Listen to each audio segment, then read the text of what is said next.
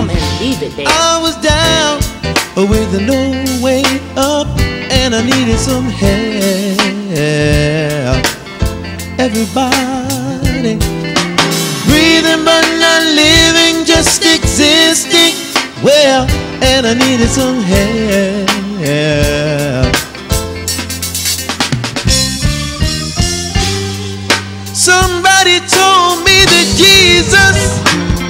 will set you free.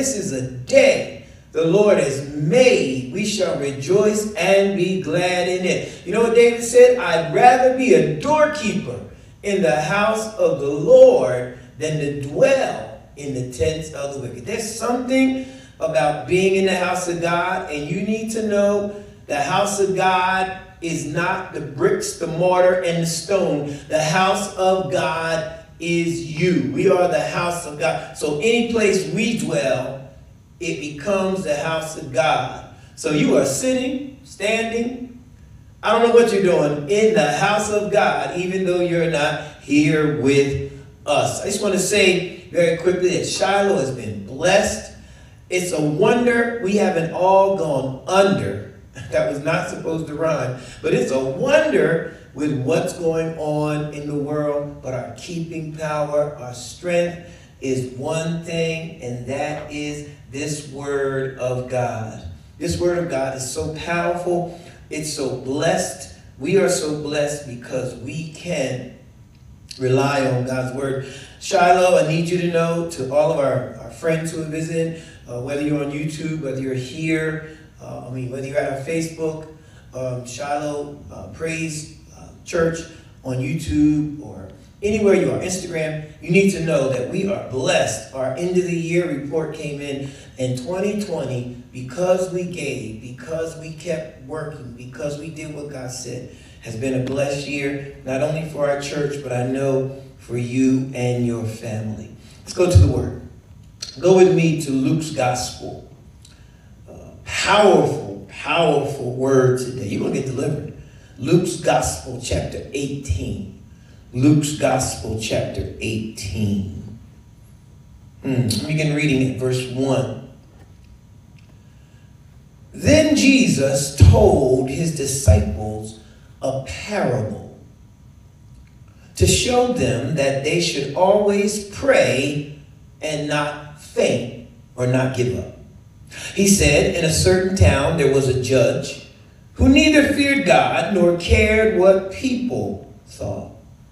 And there was a widow in that town who kept coming to him with a plea Grant me justice against my adversary. For some time, for some time, he refused. But finally, watch some time and watch finally. He said to himself, Even though I don't fear God or care what people think, yet because this widow keeps bothering me, I will see that she gets justice so that she won't eventually come back and attack me. And the Lord said, Listen to what the unjust judge says.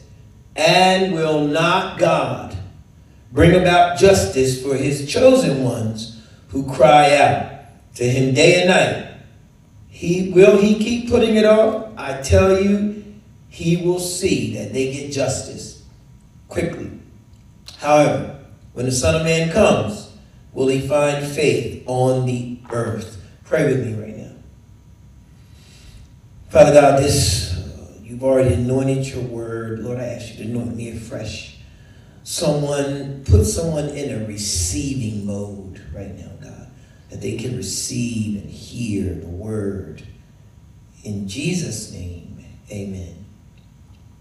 Uh, we're going to talk from this thought this morning. Victory needs a relentless and persistent spirit. Victory needs a relentless and persistent spirit. You can interchange those words just like I did because it's a double dose of driving about what kind of spirit you need. We've all heard the old adage if it was easy, anybody would do it. And usually, the person who has to hear that, it comes at a time when they were going after something and they hit the wall or hit the reality that anything in life worth achieving is going to cost and it is not easy.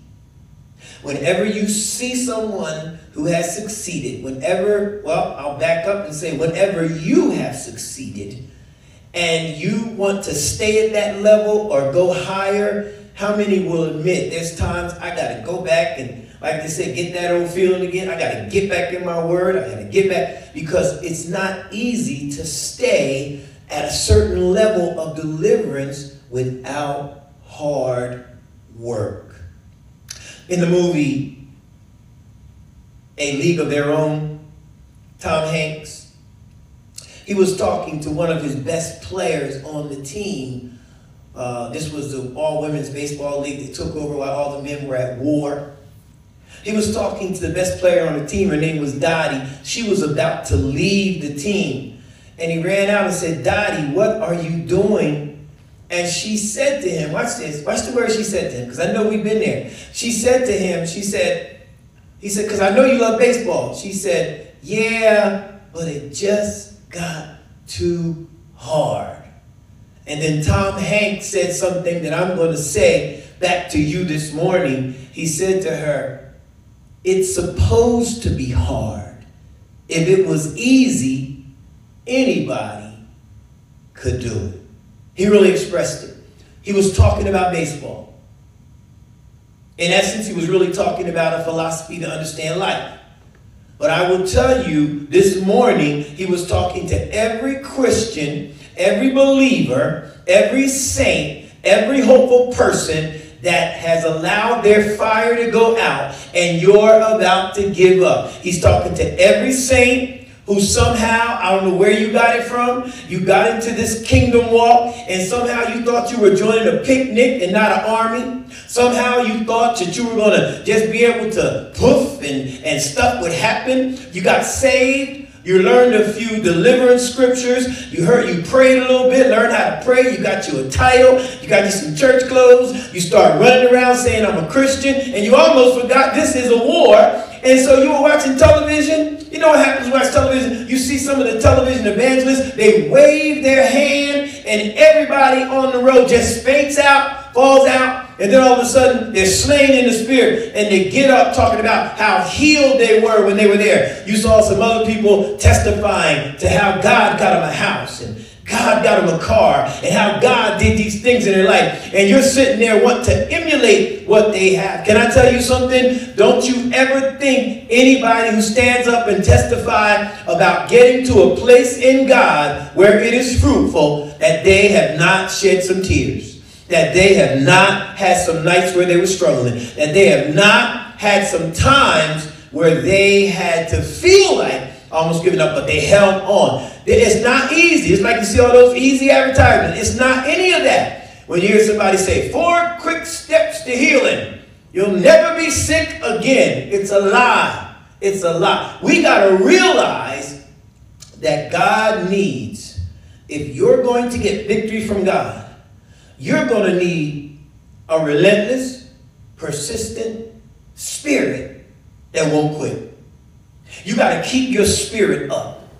What God is talking about in this parable, He's talking about people in the parable. He's showing us through the truth of this parable that there is no way this widow, a defenseless widow, should have been able to stand up against this judge. But she did because she never let her spirit get down.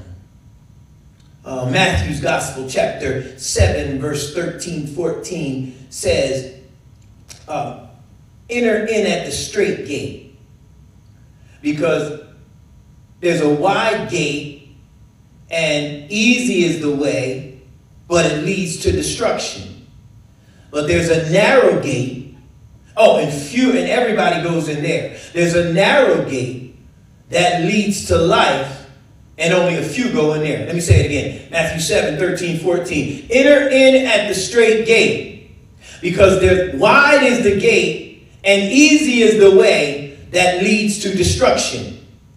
But he said there's a narrow gate, or the straight gate, that it's hard, it's a hard way, but it leads to life and only a few people go in there.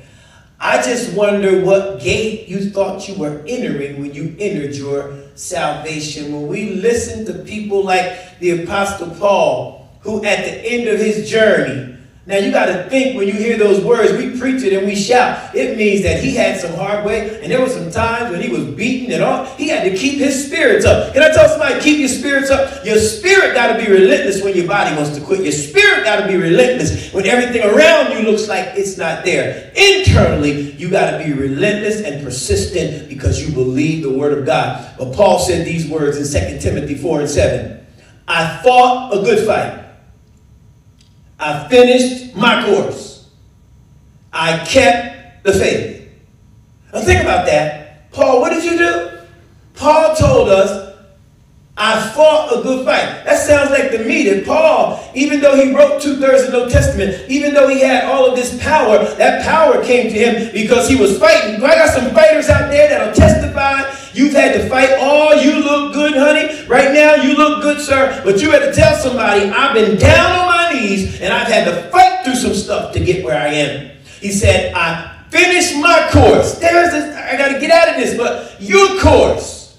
If God has laid out a course, He's going to provide you with the strength you need for the course. Quit trying to back up and turn around and let God bless you. And then he said, I kept the faith. That means there were times when his faith was being challenged, but he kept it. And if Paul did all of that, don't you know God is telling us the only way to survive is through a persistent, relentless spirit. In this text, this widow, one of the lowest uh, folk in society in biblical times, this widow, defenseless, helpless, no way to make a living, decided she was not going to quit. I hope I'm helping somebody. She decided I'm not throwing in the towel. I won't throw my chips in. And when everything else went down, she lifted herself up through her spirit.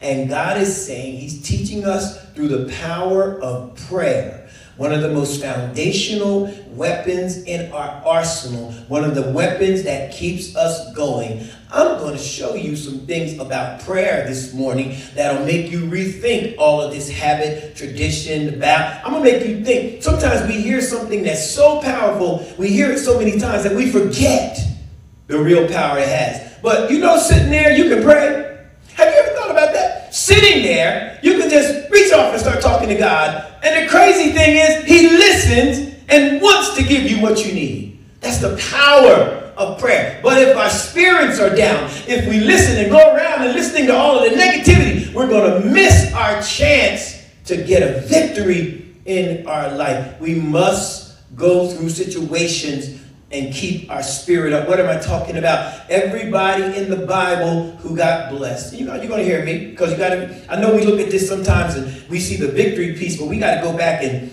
examine some texts and just see some folks so you can see what I'm talking about. Uh, the woman with the issue of blood.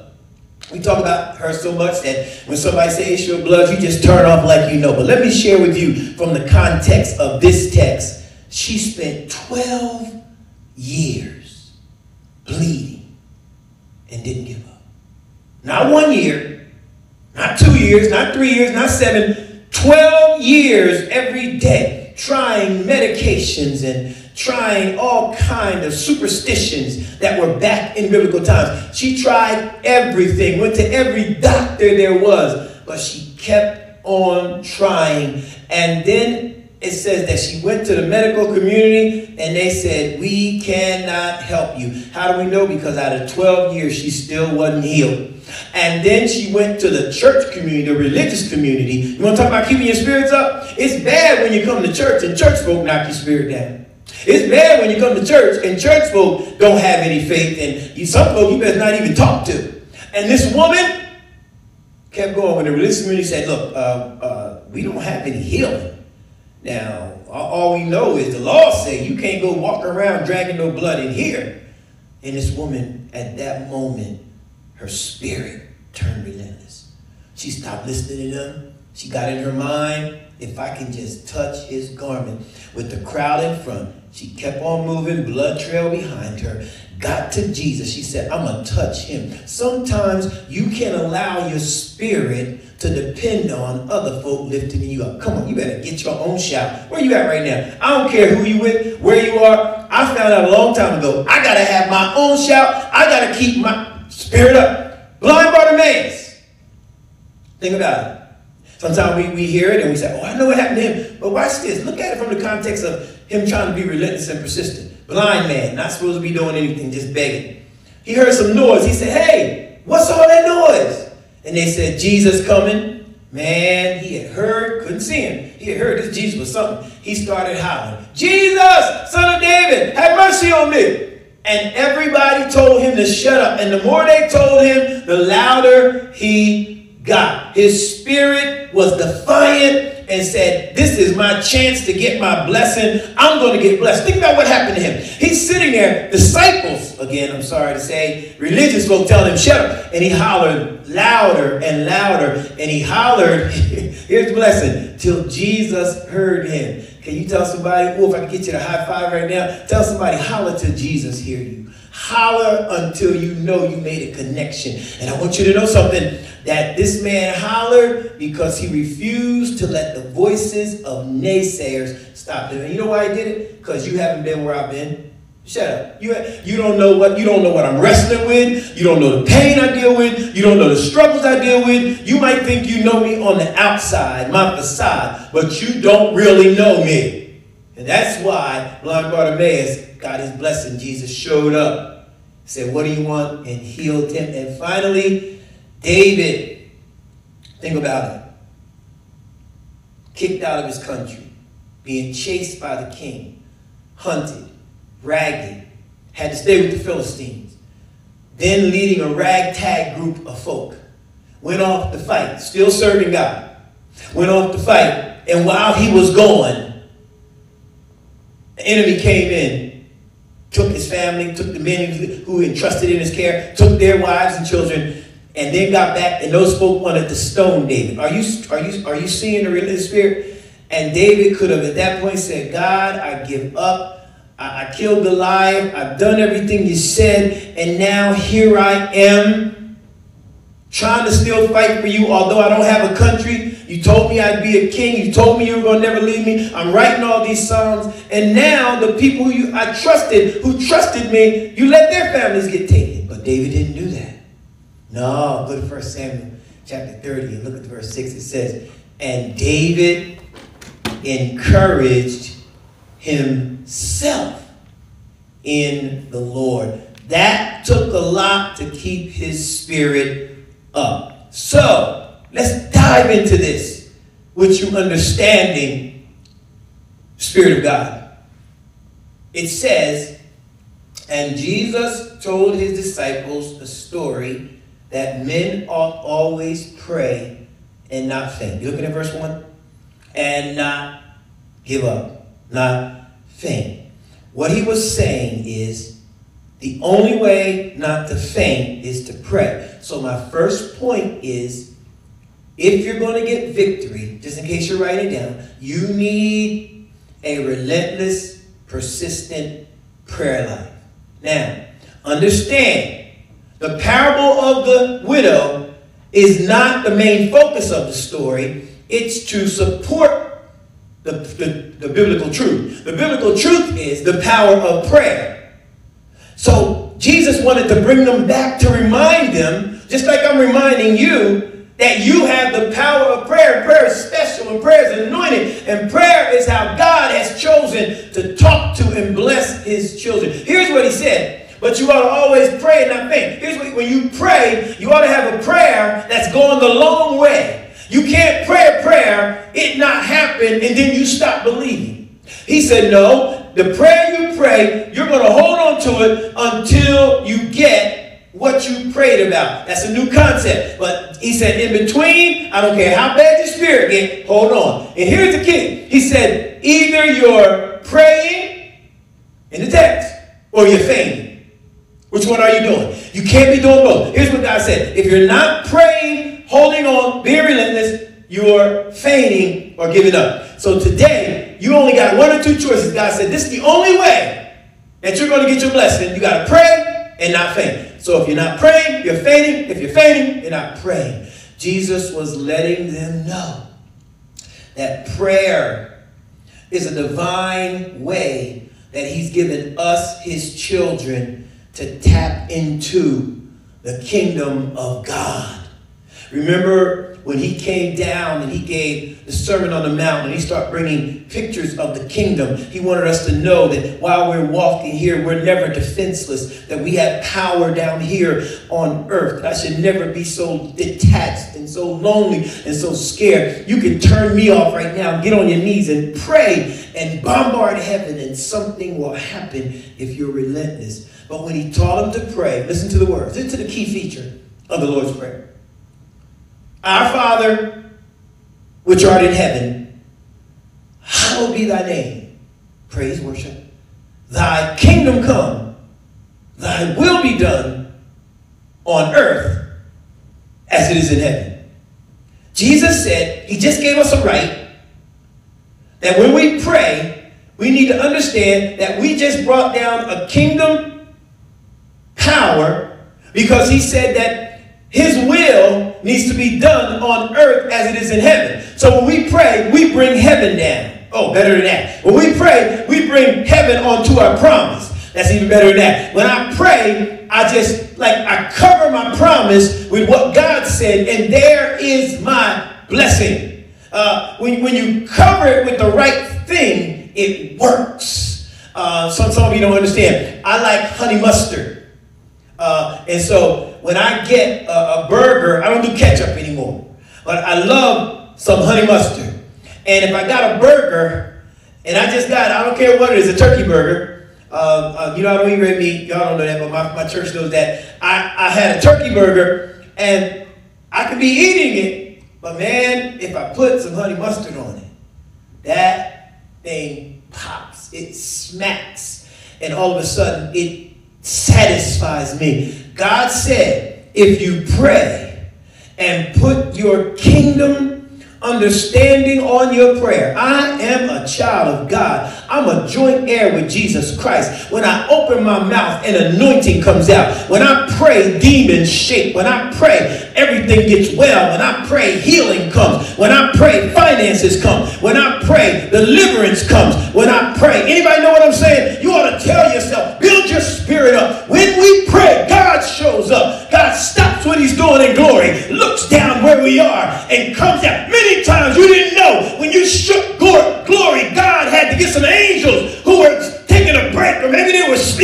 God said, Hey, get off your break. One of my servants just called. There's an emergency down there, and he prayed to me. Prayer bombarded heaven. You need healing, pray for it, call heaven down. You need deliverance, pray for it, call heaven down. You need finances, pray call heaven down. What are you doing sitting there? Call it down. Don't cry. Don't just be sick. Call it down. Because God gave us the ability to pray and call heaven down. James 5 16 says, The effectual, fervent prayers of a righteous man avails much. NIV the prayers of a righteous person, righteous in God, will be powerful. You, my friend, my sons, my, my brothers and sisters, you pray power because of who you are, because it taps into the kingdom. So when you pray, you pray down the power of God. They're effectual. First John 5 14 and 15 says it like this, and this is the confidence that we have. If we ask anything according to his will, we shall get it. Because we know, because we know that if we pray, he hears us, and the fact that he hears us means we shall have our petitions. Did you hear what God said? If you pray, you'll have our petition, which brings me down. Just, I told you, most of this parable is on prayer. I'm going to get to the widow, but this is about the widow. It's how Jesus had to tell them, understand prayer. Watch this. So, in order to have a relentless, persistent prayer, ooh, write this down. There, there's, there's something in the book that tells us how to do it. There is a pattern that touches God because He gave it to us, and there is a mindset that we have to have. The first pattern we have to understand is Jesus said in Matthew 7 7, ask, seek, and knock. When we ask, seek, and knock, we get our blessing. Now, watch the intensity of that prayer. It starts with asking, then it starts with seeking, then it starts with knocking. Some of y'all have some of the worst prayers because you don't have any intensity of asking. Then when things don't happen, you keep seeking. Then when it don't happen, you keep on knocking till heaven gives you what you want. That's the intensity of the prayer. It is written, that text, those instructions, Matthew 7 7, is written in, and the tense makes a difference. It's written in what we call the present tense. No, it's written in what we call linguistically the present continuous tense. That means what it's really saying when we transliterate it from the Greek, it's really saying keep asking. Don't just ask once. I don't care who told you that. Keep seeking. When you don't find it, keep on seeking. Keep knocking. The Bible tells us we have not because we ask not. Somebody stop right now. I just woke somebody up. Keep asking. Well, I don't see it, Reverend. Keep seeking. But I don't know where it is. Keep knocking until it comes. What am I talking about? Watch this. When I keep doing it, I get a blessing. Uh, there's, a, there's a story that goes this man who was a, a, a best, one of the best employees at his job. He worked hard, always early, stayed late, woke bonus, woke, worked bonus hours uh, was the one who, when the boss had a difficult problem, called him. Well, sure enough, at the end of the year, raises came out. He got his raise. But there was another guy who worked with him, alongside of him, who was lazy, truth be told. They had to make him work. Sometimes he's just getting there when it's time to punch in. But they got to the break room one day and start comparing raises.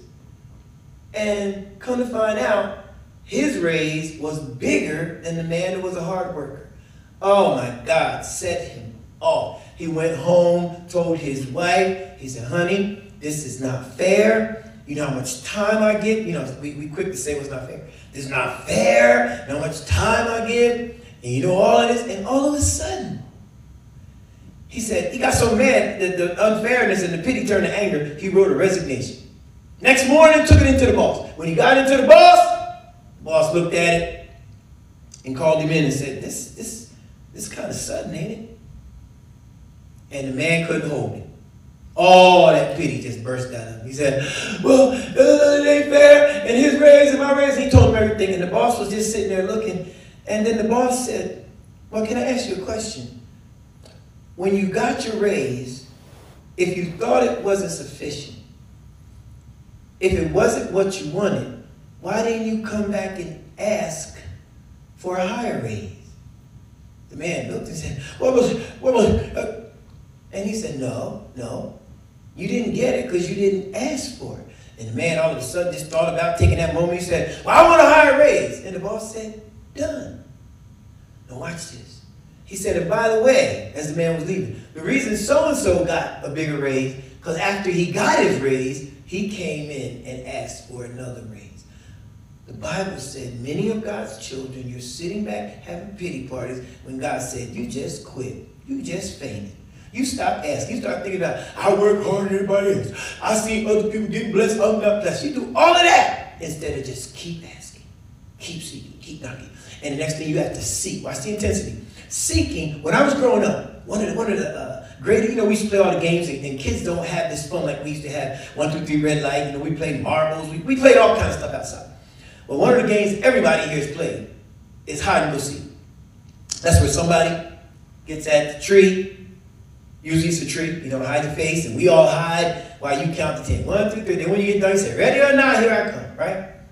Well, we were playing over one of my friend's house when I was younger, and I remember this one little boy, he started howling. Now, in, in case you, you, this generation don't get the paradigm, parents didn't like you interrupting their day. So you out there playing. Kids ain't supposed to be causing no problems. So we were trying to tell him, shut up, what are you doing? Too late. My friend's mom came outside, saw this little boy crying, and said, what did y'all do to him? We said, nothing. And then she looked at him, he's sobbing on the bed. Ever seen anybody cry? He's doing all that, and she said, what's wrong? And he said, they, they won't, they won't seek me. They won't try to find me said they walk right past me and won't find me. Walk right past me. I wonder if God watching you cry, is saying to himself, or, or wonder if God is like that little boy crying and it hurts him after all the times he blessed you that you quit seeking. Wonder if God ever said, I'm standing right here, and you walk right by me because you won't seek me. And then knock is just you got to keep making noise. I don't care if you got to praise, sing, whatever you got to do to get your blessing. Now let's go to the heart of the text. It ain't gonna be that long because this parable speaks for itself. It said there was a, a widow in this town, and she went to this judge, and she told this judge she had had a, something done to her that was wrong. She wanted the judge to avenge her or to take care of her. And we understand what she did. The text tells us that the judge said no. She kept following the judge, seeking the judge. She kept going to the judge. I'm going to paint you a picture. The judge wake up in the morning to go to work. She's standing outside his yard. Avenge me! He get in town to his job, look out the window. Secretary said, hey, there's a lady down here. Avenge me! He go to have lunch, whatever restaurant he in, she peering through the window. Avenge me! She just did not let up. He got in his car. Oh, Lord, drove home. And there she was waiting at the mailbox. Avenge me! Pretty soon he said, I don't fear God. I don't fear anybody. But this woman is driving me crazy. So we know what she did, and we know when she got blessed, when the judge came to the end of his rope. But I'm more interested, and Jesus was, in why she did it. Here's what the text said Avenge me of my right. She did it because she said, This belongs to me. Widows, in biblical times, in the scripture, had a special right. They were in the category of orphans to be taken care of. So, when this widow cried, the judge had a moral right, but he wasn't a godly judge. And so this widow said, I'm going to keep fighting till you give me what I need. That's one of the problems. Many of us give up when it's time to fight. We start running because the devil's on our tracks. We start running because things aren't happening. Instead of fighting, we can't get our needs met because we're like this little boy the man saw running down the road and he was, he was concerned. So he called up with the boy. He said, Why are you running? And the young man said, I'm, I'm trying to stop two boys from fighting. And the man looked and said, Oh, isn't that admirable? That's great. And so he said, Well, who the boys? Who's fighting? He said, Me and Mike Miller. He, said, I'm trying to stop from fighting. I'm running. I'm trying to stop from fighting. Are you running? I know you're a Christian. Maybe you don't want to admit it. But if you're not praying and standing, you're running and fainting. And God is saying you have to stand. Two principles you have to stand. Because not only must you ask, you must get a mindset like this woman had. 1 Thessalonians 5:17. Pray without ceasing. All that means is I set my mind up to keep believing God will, He's going to fix it. And I set my mind up, I'm going to make any adjustments I need to make to get what I need. So right now, somebody needs to dry their eyes right now. Need to quit, you know, put some things in the past. Watch this. And this widow said, No, I believe my mindset is it's always working so I can receive my miracle. And sometimes that means I got to stop some things I'm doing that's stopping my blessing. Uh, uh, the story goes that there was a mental institution had a test when the clients were ready to be released to go home. They would give them a test. They take them to this little closet. There was a sink, and there was a. They turn the faucet on, and the water is overflowing on the floor. And when they walked in, they would give them a bucket and a mop and say, "Clean this water up." Now, if the person just started mopping, trying to clean the water up without turning the faucet off, they knew they weren't ready to be released. But if they turned the faucet off first and then they began mopping, then they would let them go because they understood holistically how to stop the water. Some of you need to stop the pain by not blaming God and looking in your own heart. All you're doing is mopping up. Pro- Nobody why you got a problem on Monday, another problem next Tuesday, and another problem next Saturday? Because all you've done is mopped up the problem and let the water keep flowing. Maybe that water is your quitting. This woman said, It's mine and I want it. And it's the principle of the thing. I'm not giving the devil anything because it's the principle. If anybody know it, it's mine. So you, don't you want your healing? Don't you want your deliverance? So this woman, second point, victory takes a persistent, relentless spirit. That's the point I just did. Third point, closing point. God said, Did you hear this, judge? He didn't fear God, he didn't fear man. But he gave in for persistence.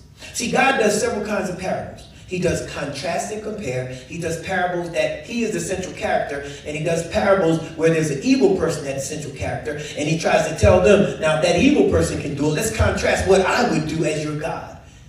And the text says God did just that. He said, How much more will I do as your father if this unjust judge had to give in for persistence.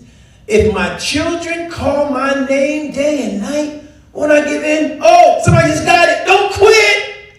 It's time to ask. See, not. It's time to be persistent. The last one is victory needs a persistent relentless spirit. Keep your spirit up. Somebody raise up, wise up this morning. Get your spirit up and realize that if I pray persistently, if I don't let anything knock me down, if I don't stop, here's the secret of the prayer. It doesn't take much. Just don't stop. It doesn't take much. The devil will quit before you quit. It doesn't take much. You can bring heaven down. Right now, you need to shout out. You need to pray out. You need to praise out. Come on, shake yourself. Wake up and remember if this defenseless widow who had nobody to protect her trusted in God, how much more is God waiting on you to wake that problem back up? You gave up on it, but God got it and He want to give it to you. All you got to do is pray for it, believe in it, trust in it. It will come. Persistent, relentless. No, I ain't giving you my stuff. No, I'm not giving up. No, I won't quit.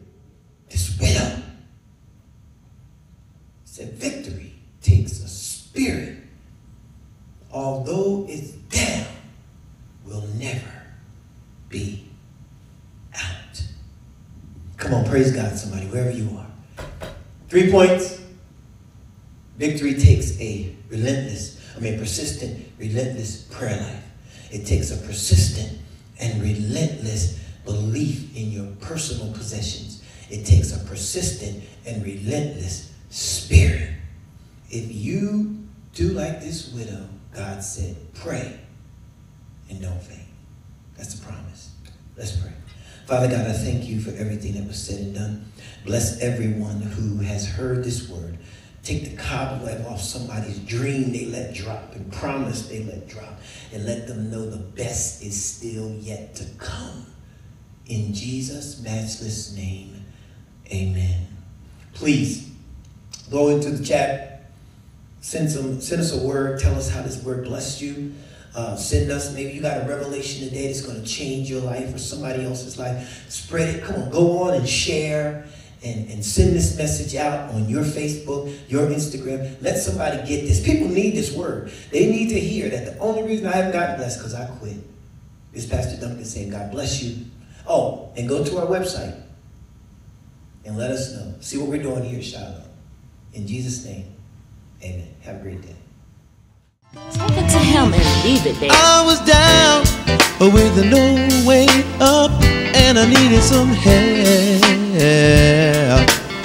Everybody breathing but not living, just existing. Well, and I needed some help.